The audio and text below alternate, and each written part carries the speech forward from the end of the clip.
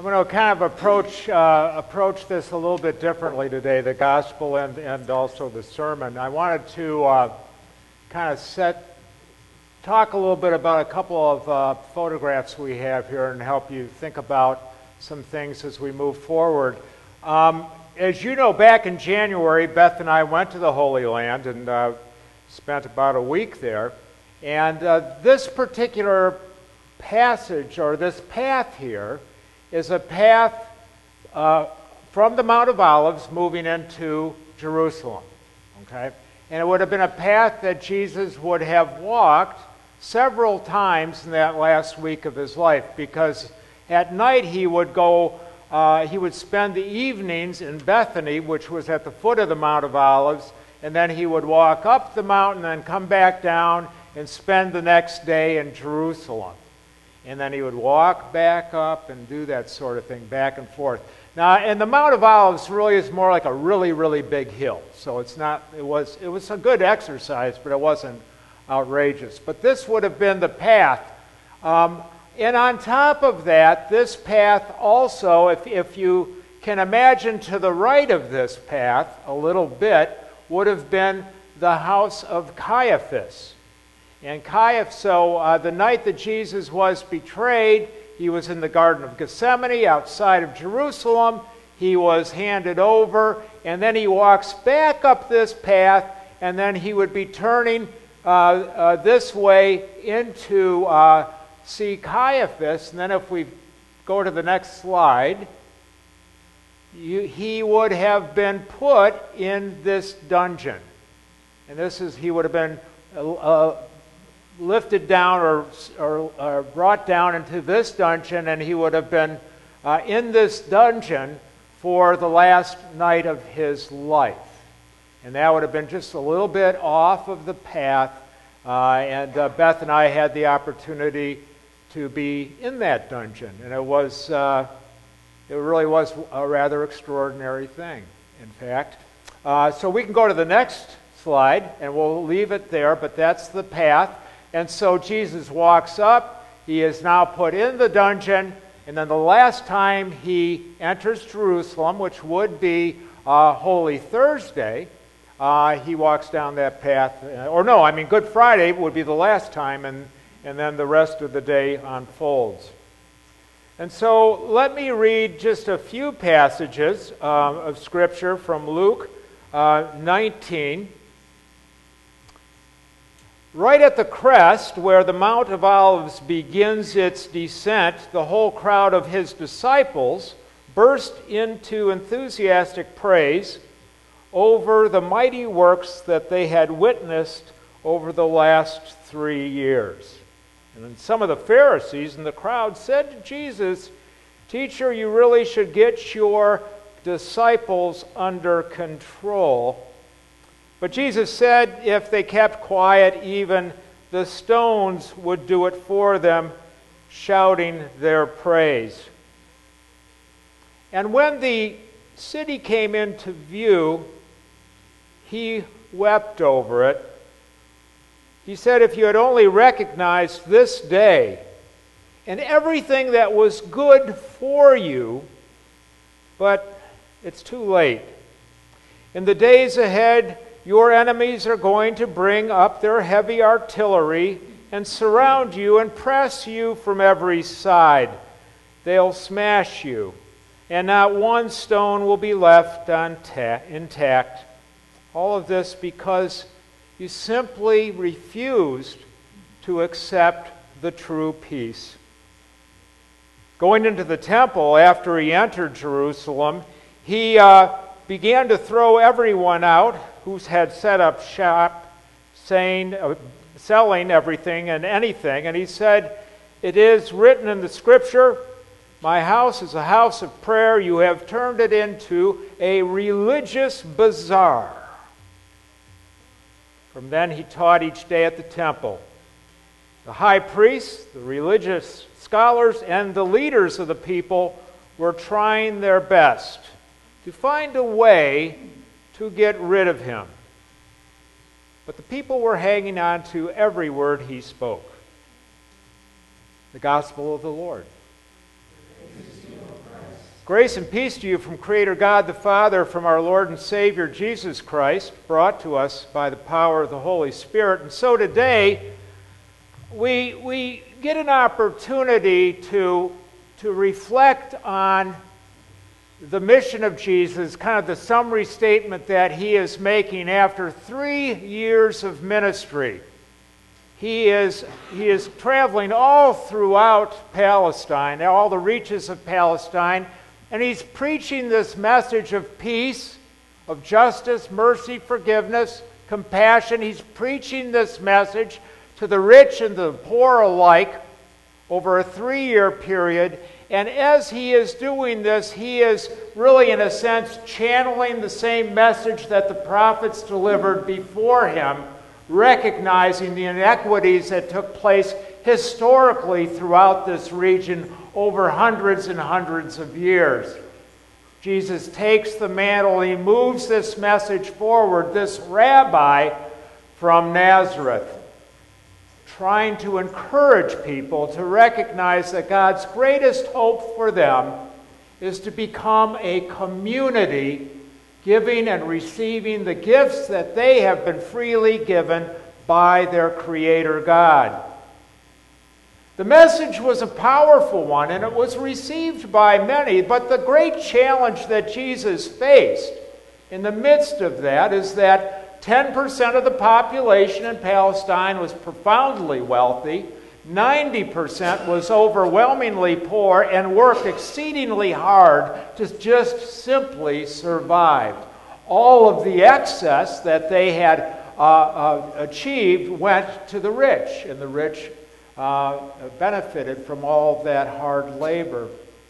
Jesus saw the pain in those who were oppressed. He recognized that they were li- their lives were not long lives, they were painful lives. There were lives that did not have much hope. It's tough when you work all day, all night, you just barely have enough to eat. And Jesus saw the pain and the suffering in their eyes. He recognized the challenge, and just like all of the prophets before him, he challenged the community to loosen itself up and to share its abundance with each other, recognizing that in truth there were remarkable talents within the poor that never could be fully realized because they lived a life of subsistence. The kingdom of God, rightly understood, is a kingdom that reflects the life of all people and it holds every single life as overwhelmingly sacred, created by God. Jesus recognized over that three year period that there was a crescendo of dissent that was building up for his ministry, largely coming from the powerful. Because for the kingdom of God to actually be realized, the powerful would have to release that power. They would have to be able to share and open themselves up in a whole new way. They'd have to reconfigure that community and that world in which they lived, and there was much resistance to do so. Jesus knew all along that the message that he needed to deliver would be delivered in such a way that it would meet his death. And so he comes in this day, this Palm Sunday, the Sunday before Good Friday, with all of his disciples gathering outside of Jerusalem, waving these amazing palms and, and encouraging his involvement. And he comes into Jerusalem, and immediately he goes to the temple.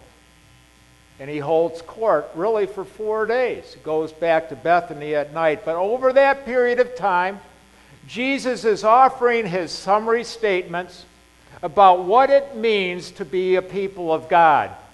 He is delivering his summary statements that suggest mightily that God wants us to be one, that the shalom, the peace that surpasses all understanding, is within our midst if only we would be willing to take hold of it.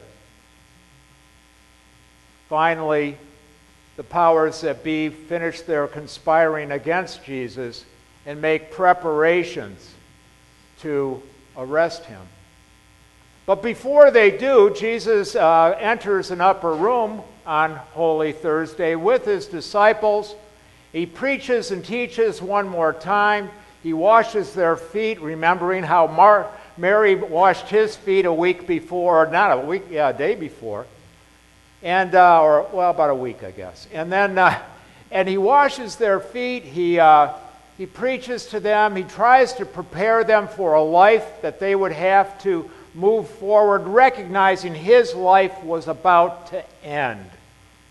But he recognized that these disciples were going to be the next wave, the next wave of shalom. Those men and women who would take that message back out into the world and continue to proclaim God's holy world, word to a people who were struggling to make ends meet.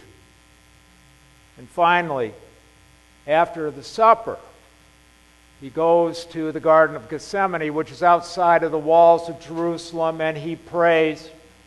He is filled with anxiety and anguish.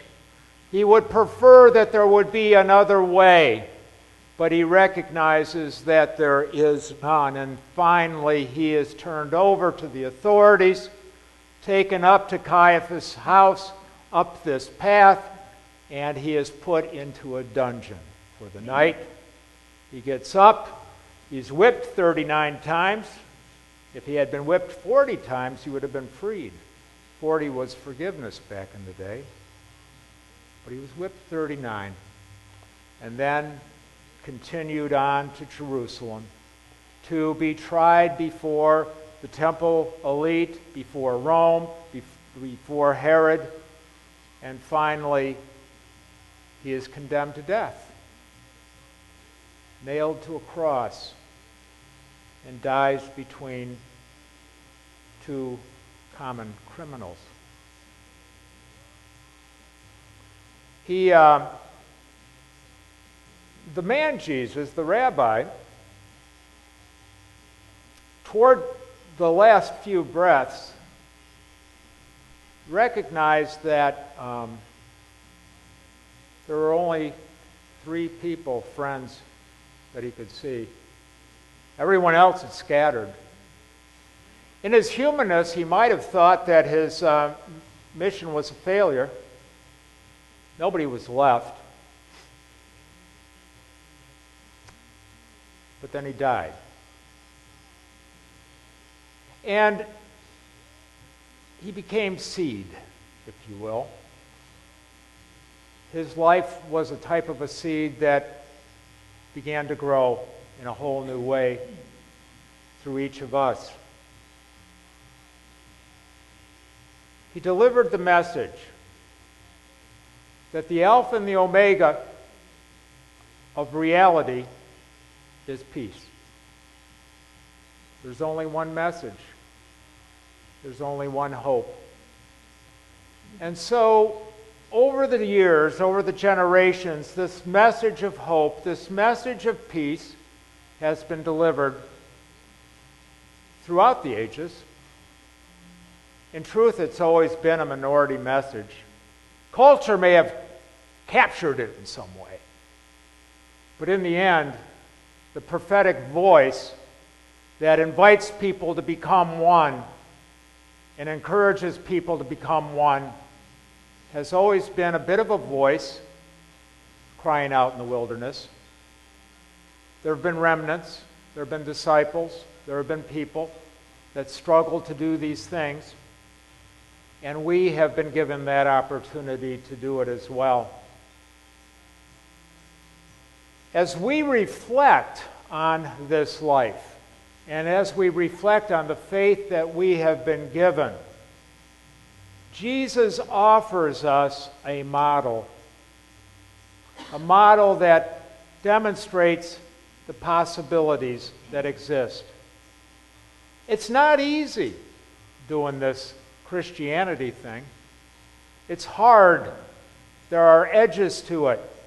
And Jesus always said, Fear not, before he sent his disciples out. because it is a little bit scary at times. But the good news is that we do have Christ, Jesus who has become Christ. We have the Holy Spirit in our very midst.